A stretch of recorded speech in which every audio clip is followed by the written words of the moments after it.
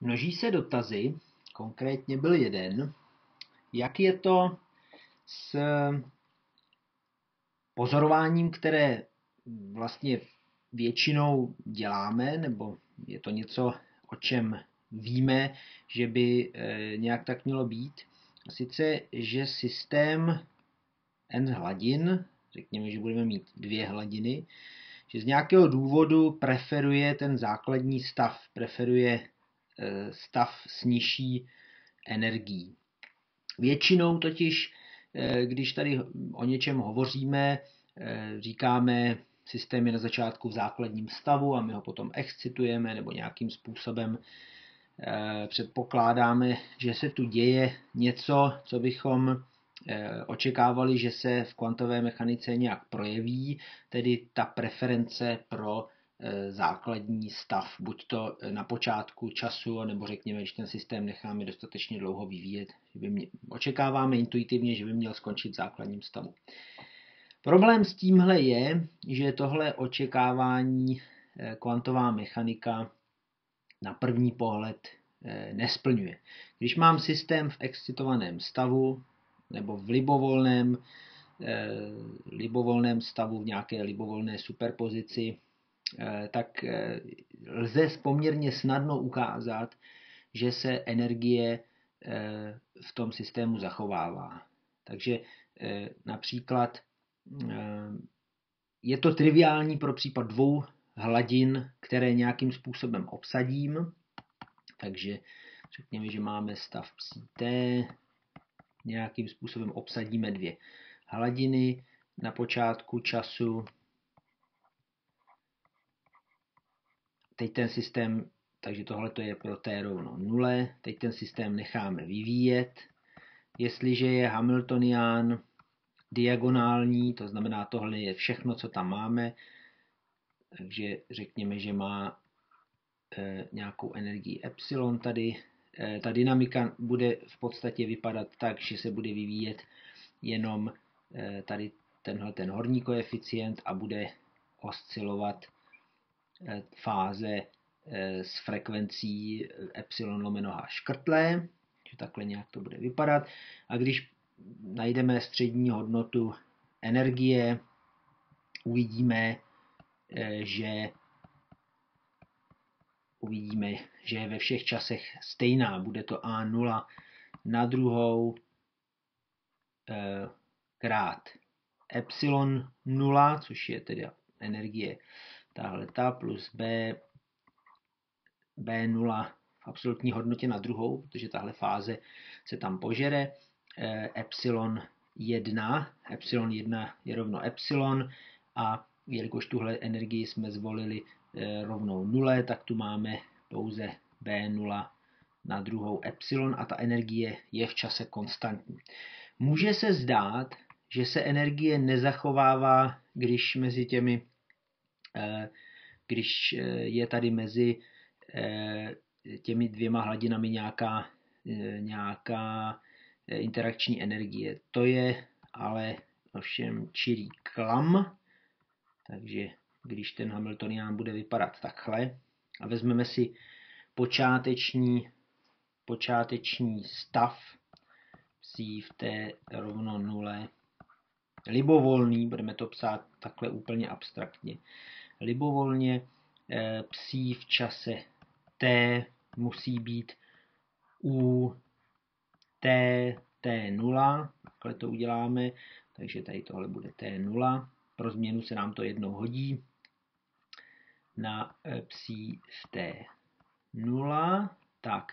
A teďka, když napíšu zase očekávanou střední hodnotu eh, Hamiltoniánu, jak se mi vyvíjí v čase, když tam dosadíme psí t 0, teď tady by mělo být u T0, T, H, U, T, T0, psí T0. Teďka poměrně snadno lze ukázat, že jelikož platí, že U, T, T0 je E na minus I lomeno H škrtlé H T minus T0, což to znamená, že to je e, rozvoj, že to je, e, že to je e, nějaká Taylorova řada s n mocninami H, tak tahle ta věc pochopitelně komutuje s Hamiltoniánem. Když sem napíšu, pardon, když sem napíšu, když sem napíšu ten Hamiltonián, H, tak dostávám H a tady bude ta celá řada.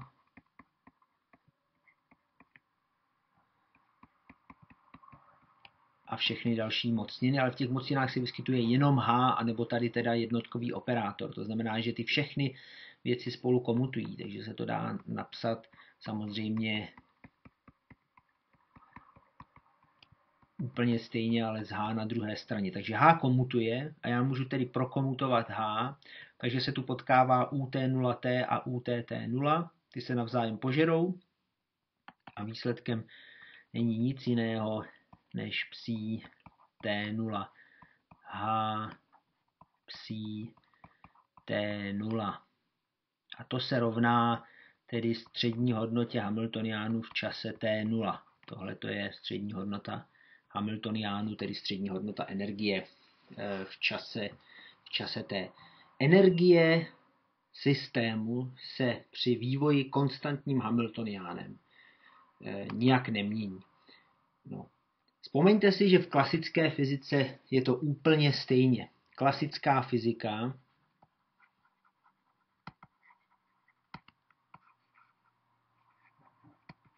klasická mechanika, řekněme, nemá v sobě nikde zabudován, zabudovánu nějakou explicitní eh, teorii eh, jevů, jako je tření. Takže prostě tam není, není disipace energie,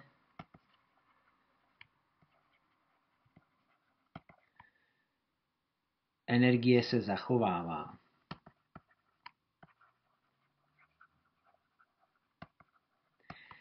My dneska stále věříme, že zákon zachování energie je univerzální zákon. Takže já když vezmu nějaký uzavřený systém,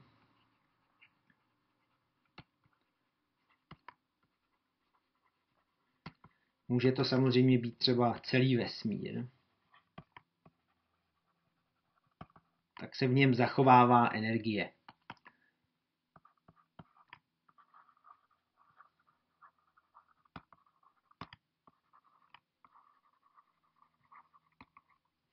V klasické mechanice jsme měli eh, nějaké metody, jak zahrnout eh, heuristicky jevy, eh, jako jsou tření a tak dále, do pohybových rovnic. Takže v klasické mechanice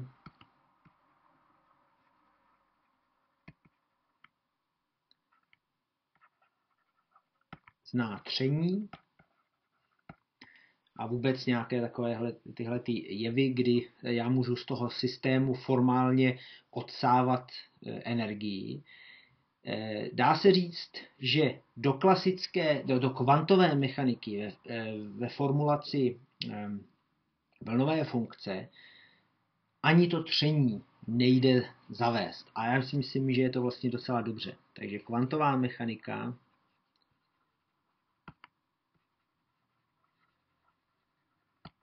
z různých důvodů nezná tření. A nezná ho, pokud e, pracujeme s vlnovou funkcí se stavovým vektorem. Takže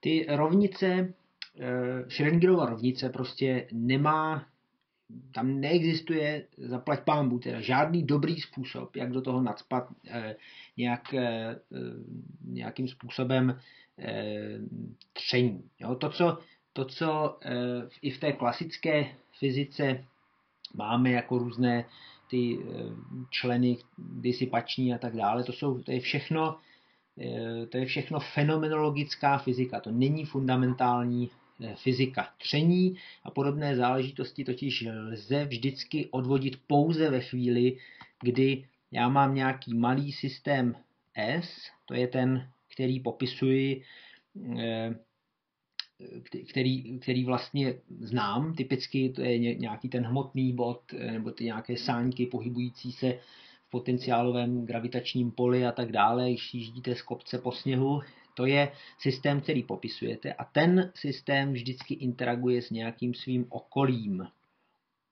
Vezmeme okolí jinou barvou, s nějakým svým okolím interaguje.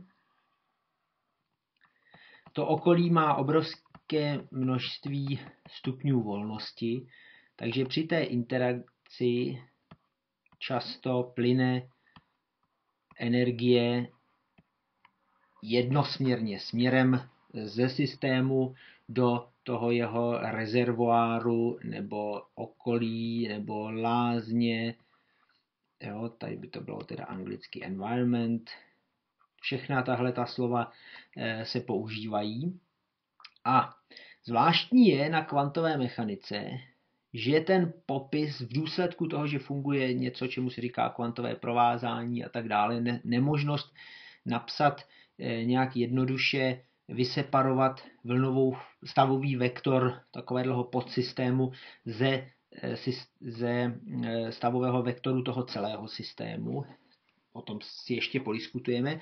Ta, tyhle ty věci v podstatě zakazují nebo znemožňují eh, zapsat, zapsat ve formalismu stavového vektoru tyhle ty jevy nějak fenomenologicky. Není pravda, že by kvantová mechanika to neuměla vůbec. Později uvidíme, že místo stavového vektoru můžeme pracovat s takovým jistým operátorem, kterému eh, se často říká statistický operátor, který eh, může, který má trošičku flexibilnější schopnosti než stavový vektor. Eh, tak v tomhle na úrovni, že tady tohle je stavový vektor a tohle je již nějaký operátor. No a ty operátory eh, je možné sčítat eh, způsobem, při kterém nevznikají interference. To jsou právě ty jevy, které velmi často vidíme v přírodě z našeho klasického pohledu. A tenhle ten formalismus je schopen vytvořit jakousi fenomenologickou teorii jevů disipace, disipace energie. My se k tomu eh, i na cvičení eh, vrátíme, zase například pro eh, případ dvouhladinového systému, ale mezi tím je zcela určitě spousta dalších zajímavých témat, ke kterým, která jsou z pohledu jaksi proniknutí do kvantové teorie důležitější. Teď bych tu jenom chtěl poznamenat, že v případě, že se tedy budeme zabývat nějakými speciálními počátečními podmínkami, třeba že systém je v základním stavu a tak dále, tak eh, tam lze využít, nebo eh, pokud si to chcete nějak představovat, většinou nebo velmi často je to eh, v přírodě tak, že mm, spousta jevů probíhá mnohem rychleji než právě tyhle ty jevy disipační, zejména, zejména v mikrosvětě. A Potom můžete udělat nějaké oddělení časových škál. Takže já tady mám takhle nějakou dlouhou časovou škálu. A tady jsou třeba nějaké nanosekundy a e, další mikrosekundy a sekundy. A tady takhle někde jsou nějaké třeba e, femtosekundy, atosekundy a já nevím co všechno a pikosekundy, tak tady se někde dějou dějí nějaké jevy, při kterých se to tření neuplatňuje a my můžeme používat kvantovou mechaniku toho uzavřeného systému. Takže kvantová mechanika uzavřeného systému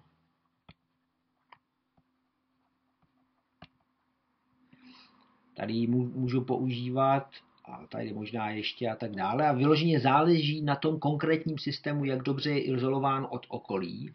A tam eh, nám bude všechno fungovat tak, jak si to teďka píšeme, bez toho uvažování jakéhokoliv okolí. No a pak samozřejmě, jakmile se dostaneme do oblasti, do oblasti, kde už izolace od toho systému nepůsobí dobře nebo není dostatečná, tak potom přicházíme do oblasti, kde můžeme očekávat, že například eh, různé kvantové mechanické stavy budou již eh, populovány v závislosti na své energii. Takže pokud tohle bude nějaký stav, nějaký E0 rovno 0 a tady bude nějaké E1, které je, je větší než energie termální, můžeme očekávat, že ten systém nalezneme sedící tady pěkně v základním stavu a bude znova popsán, eh, řekněme, nějakým jednoduchým kvantovým mechanickým stavem, eh, který ten eh, systém jako takový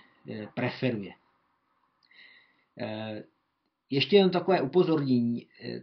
Fyzika opravdu je kouzelná právě tím, že vůbec jak si je jí úplně jedno, té, té fundamentální fyzice, že my pozorujeme eh, jevy jako tření a podobně a nesnaží se pro ně najít nějaké fundamentální vysvětlení ve smyslu, že bychom potřebovali něco, něco k fyzice přidat. To kouzelné je, že já mám fyziku, která je nevratná, teda která je vratná, jak klasická, tak eh, kvantová a přesto eh, při dostatečně zahrnutí dostatečně velkého množství stupňů volnosti mi tahle ta vratná fyzika popisuje ty nevratné jevy, které vidím eh, v přírodě. No, to, že někde, někdy se ve fyzikálních teoriích objevují různé konstanty typu prostě součinitele tření a podobně, tomu se říká fenomenologie.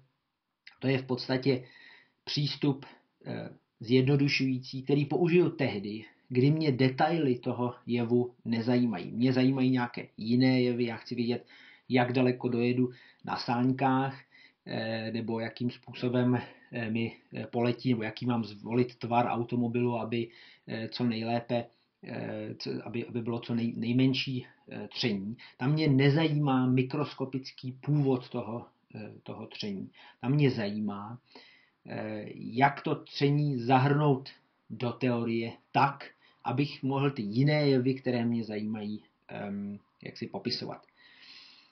V mikrosvětě ale velmi často docházíme k tomu, že můžeme ty mikroskopické teorie um, disipačních jevů, nějakého toho tření a dekoherence a podobně skutečně dělat.